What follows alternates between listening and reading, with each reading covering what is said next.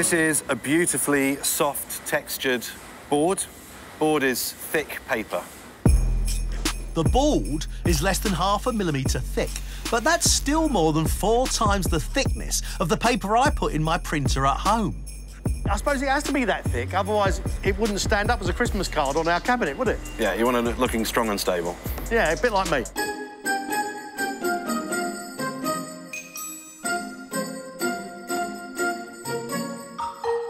So we paint and draw our elements by hand, and once we're happy with it, all of the artwork I will scan in and it becomes a digital design. And here's my design on screen.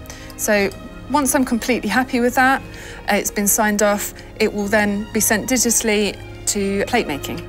So Gregg, this is a printing plate, which is a sheet of aluminium with a light sensitive coating on. In here is a big drum that the plate will wrap around the drum spins around 2,000 revs a minute, and there's a bank of lasers that will move along as it's spinning, and that etches away what we don't need and will leave what we do need to print Amy's design. Why don't you go straight from the image onto the cards? Why make a plate first? Because that's what we need to transfer the ink onto the paper. The ink will stick to this plate and then will transfer to the paper. So where do I take this now? You need to go and see Rod on the press, who will use these to print Amy's card. Right. First of all, we have four colours which make up the whole image on the card. So you have a black, a magenta, which is the red, the cyan, which is the blue, and the yellow. Those colours will give you an infinite blend for the card. The sheets go through the entire machine, starts off blank and comes out with a finished image.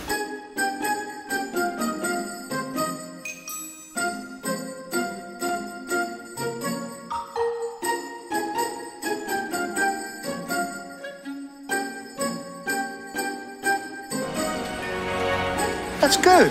That's pretty good.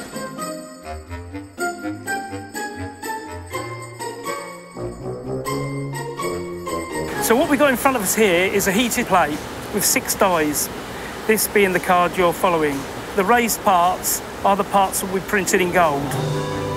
Like a printing plate, this foiling die also has a raised surface. It's designed to apply shiny foil to specific areas of the card using a combination of heat and pressure.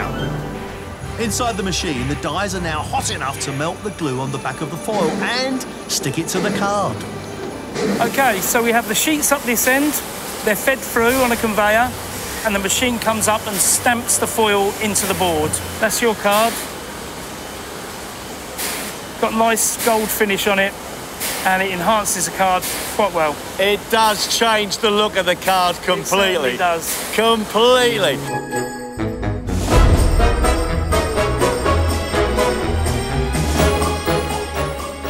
It takes less than a second to carve through a 10 centimetre stack of 250 sheets.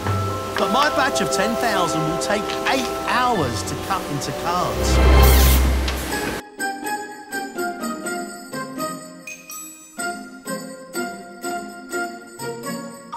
So how are the gems getting onto the card? Michaela here is putting them on by hand. Uh, she has a very good eyesight and it's quite a fiddly job. She's lifted them off of uh, an acetate sheet and they're self-adhesive. Adam, what's going on over here? This is where we put our smart seal on the card. It holds the envelope and the card together so you don't end up hunting for an envelope when it's in the shops. Also stops the envelope from falling out and it's enabled us to not use plastic around the cards anymore.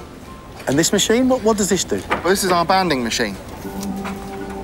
It applies a paper band around a pack of six cards. When these go to retailers, they all go in packs of six, and they go on the shelf. The shopkeeper will take the band off, and then they're ready to sell.